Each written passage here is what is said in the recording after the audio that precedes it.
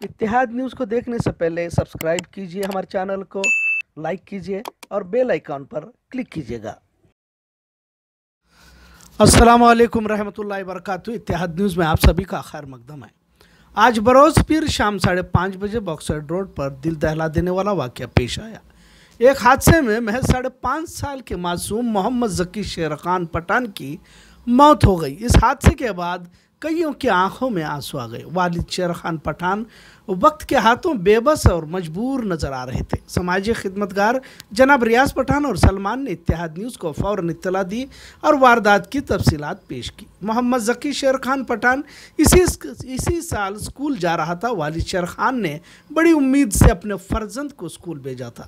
غریبی کی وجہ سے جناب شیر خان پٹھان نے سرکاری اسکول میں داخلہ کیا تھا۔ لہٰذا محمد ذکی صبح اسکول جاتا اور شام کو گھر لوٹتا تھا۔ پر آج اس کی زندگی کا چراغ بوجھنے والا تھا۔ اس کا ہلکا سا بھی علم نہ تو خود محمد ذکی کو تھا اور نہ ہی ان کے والدین کو یا ان کے گھر کے کسی افراد کو تھا۔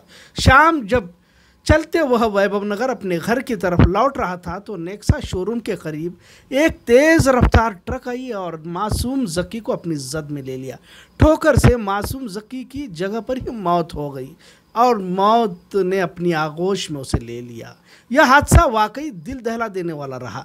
اس باکس ہیڈ روڈ پر کئی حادثے ہو چکے ہیں، لہٰذا بار بار سپیڈ بریکر کی مانگ کرنے سے بھی کارپوریشن کی جانب سے نظر انداز کیا جا رہا ہے۔ ایسا یہاں کے عوام کا کہنا ہے۔ آج پھر ایک بار محمد ذکی کے حادثے نے عوام میں غصہ نظر آیا۔ محمد ذکی اپنی دادی کے پاس رہتا تھا۔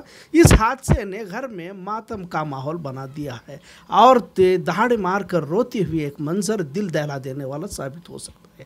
محمد ذکی گھر میں سب سے پیارا تھا۔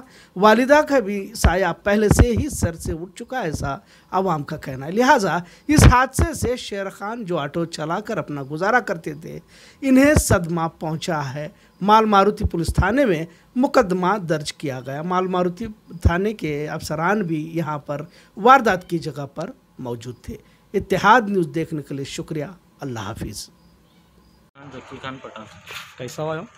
اسکول کو گیا تھا اسکول سے دو بایاں بایاں آ رہے تھے نا انہیں دوسرے ٹریک کو آپ کو اسے اڑایا کون سی گاڑی تھی وہ ٹپر